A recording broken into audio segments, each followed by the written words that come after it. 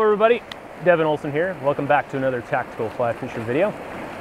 A lot of you have been asking for me to do a video about my pack and what's in it, so we're gonna cover that today. Also, I'm just gonna cover what I'm wearing, because I don't know how many times a week I've been getting asked about what I'm wearing when I'm wet wading, but it's a lot. So we're gonna cover that as well, try and make it easy for you. Let's talk about the wet wading first. What I'm wearing is pretty simple. I just have a pair of men's leggings. If you do a quick Google search, you'll come up with an innumerable amount of possibilities. Um, these I think are made by Dr. Skins, but that doesn't really matter. Um, they're just men's leggings, and I've also worn Under Armour versions. They're all great. Um, and then I have them under a set of quick dry shorts, so just some fishing shorts that dry quickly. And the main reason why I wear leggings is that they don't catch as much water when I'm wading around. So if I wore a full leg pant, that are, tend to be pretty baggy, and the the shin and calf area of the pants will catch a lot of water, and it makes it just harder to wade. So with these leggings, they keep the sun off me. Uh, sometimes will keep the bugs off, but um, and then uh, protect my shins from brush and things like that, so I don't get beat up. But they're nice and cool when they're wet, and they're evaporating that uh, water off of them, and then they also allow me to wade quick, uh, easier through the water. And then I just have typical wet wading socks that go under my boots, and that's it. That's my wet wading garb. So if you're uh, in a place where you still have some wet wading season left, uh, maybe you can try that and you'll find yourself having uh, more comfort on the water. All right, let's move on to my packs. So I have a two pack system and I get asked a lot why. Um, the reality is twofold. Number one, I have an old injury in my left shoulder where I have a permanent knot there. And if I put much weight on that shoulder within 20 minutes, I basically can't fish anymore because I'm in a lot of pain. So I always, I have to come up with a system that makes it so I can carry all the things that I want, but also keep weight off that shoulder. And I don't know how many packs I've been through during, uh, you know, over the last 10 years, but it's been a lot. Um, and I've finally settled on the system I have right now and it's working well. So um, if you are the type of person who carries a lot of boxes and a lot of stuff to the river, like me, then this might be a good way for you. Um, so pay attention. So my two packs are an Umpqua Ledges 650 hip pack or lumbar pack. Um, this pack is great. It's got uh, an attached water bottle holder. If you have a water bottle, I've added a carabiner with a rope on it that I can snap onto a water bottle if I have it. Um, so when I carry a water bottle, I have that. I'll show you something else that I have in my pack right now for, for today when I get there. Um, it's got these two external pockets. Those are the ones that I keep bug spray and sunscreen in. Tiny little pockets. Um, and then on, in the main compartment there, that's where I just keep a whole bunch of fly boxes. To try and keep weight off of my shoulders, I put a lot of the boxes in here, the ones that I don't need as much for the day. Um, so it looks like I've got six boxes in here. Um, these are kind of just flies that I don't expect to fish as much. So among these I have, today I have kind of a junk box. It's got mops on one side, eggs on the other. And I have a big dry fly box. It's got really big, kind of uh, large dry dropper flies. So, you know, hoppers, uh, stimulators with a whole bunch of yarn, big terrestrial type stuff, even a few green drake things. Um, mainly just larger dry flies that are really buoyant that can hold up a lot of weight if I need them. Then I have a smaller dry fly box with caddis and uh, beetles and ants on one side. And then on the other side, it's mainly mayflies and or midges. Uh, lots of, uh, these are some of the hackled ones and, and older versions in here with a few shuttlecocks, things like that. And then I, since I've been tying so many more of these over the last year, I started another dry fly box, which is a little bare right now, but um, this is just CDC winged flies in this box. And then the last two boxes I have in here, I have one that's just caddis larvae and a few pupa. Oops.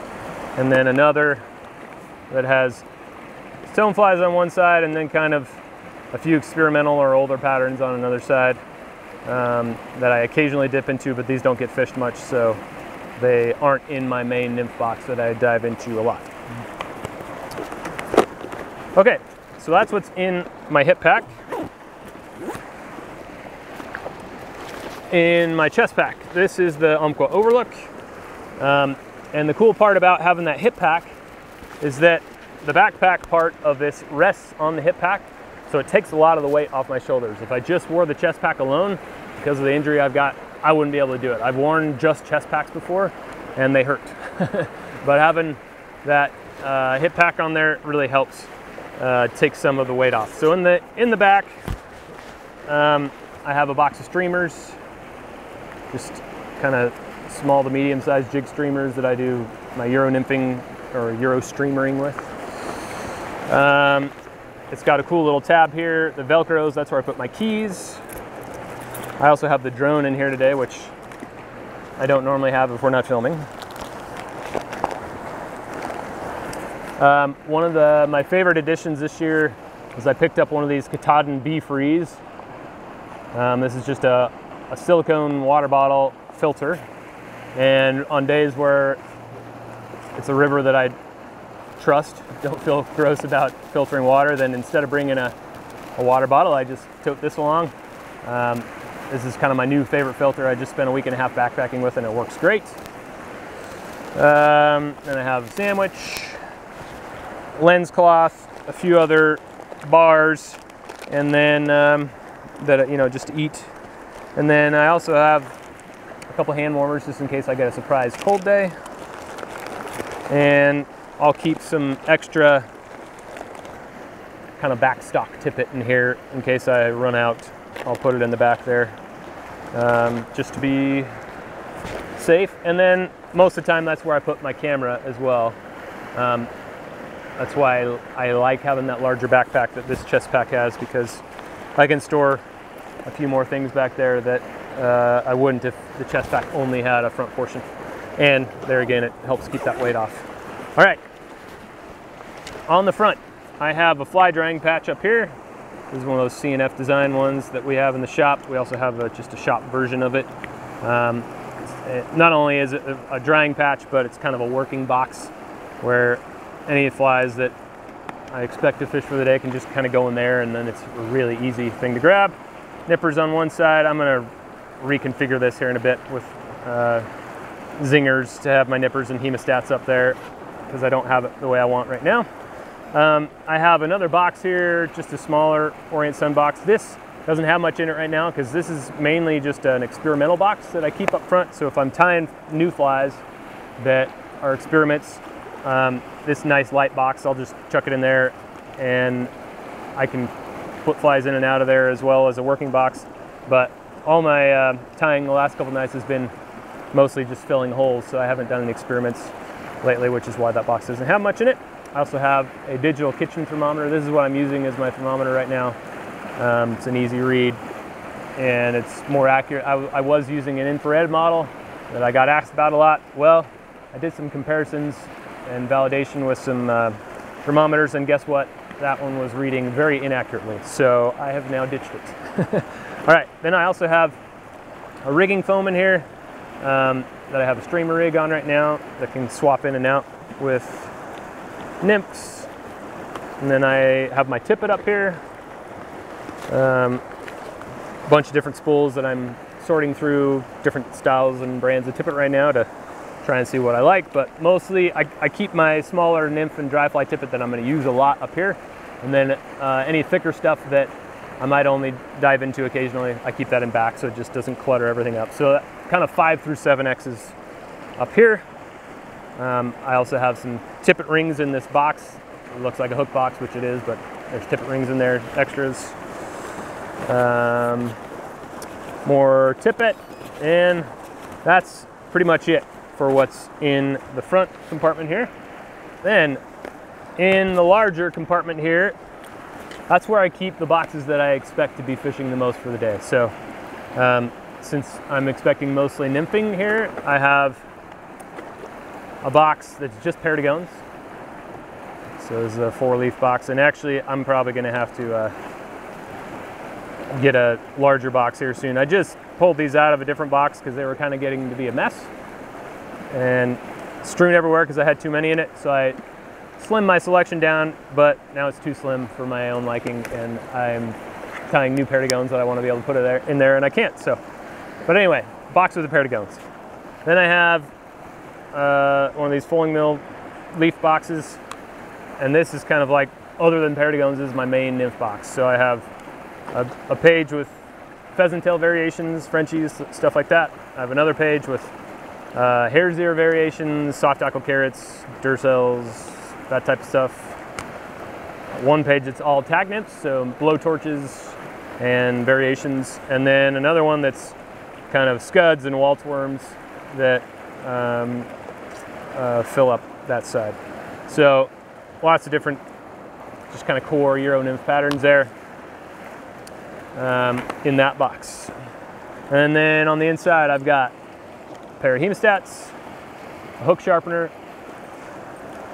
I have a dry fly towel, which you can also see has a bunch of orange on it. That's this is what I use not only to dry out dry flies, but I wipe Skafar's wax off my leader with this. And then I have Skafar's wax, a couple of colors, yellow and orange in here, also pink every once in a while. I have a measuring tape just in case. I have frog's fanny or powder with a brush. I keep some Sempe nylon in here, usually 0.16 and 0.18. This is 0.16. Um, in case I break my micro leader on the river, I can rebuild. Have a stomach pump. And that's pretty much it. Oh yeah, a lens cleaning cloth. So this one I keep just for glasses uh, and lenses on cameras, things like that. But I don't put the Skafar's wax on here because obviously that probably wouldn't work out well for my sunglasses. And lastly, before I forget, since I just about did, um, I have here in the pockets, I have both Mucilin and Payette paste. They're pretty similar products. Um, I use them to to uh, grease leaders with, mainly when I'm dry fly fishing, but if you're floating a sighter, this is a really important thing as well. Um, I use the mucilin normally on hotter days because it stays uh, more solid, I guess, in warmer weather. And the Payette paste gets a little too liquidy. Um, and then the Payette paste I use during kind of cooler days when it's more solid as well. And the Payette, or the mucilin gets a little too hard on those days. So, you know, if you're going to have one or the other, it's probably just fine. But since I'm persnickety, I bring both. Um, and then I have all the flotation I want. So anyway, I hope that answers your questions about what's in my pack. I've gotten asked that a lot. Um, and now I'm just going to send you a link if you ask me this in, in the future. but so if you like this video, please give us that thumbs up. Subscribe to our channel. We'd love to hit 15 or 20,000 subscribers here soon. Uh, share the channel with your friends and uh, on social media. And then also come on over to tacticalflyfisher.com and we'll help you out with whatever fly tying and fly fishing gear that you, uh, you need. So thanks for watching.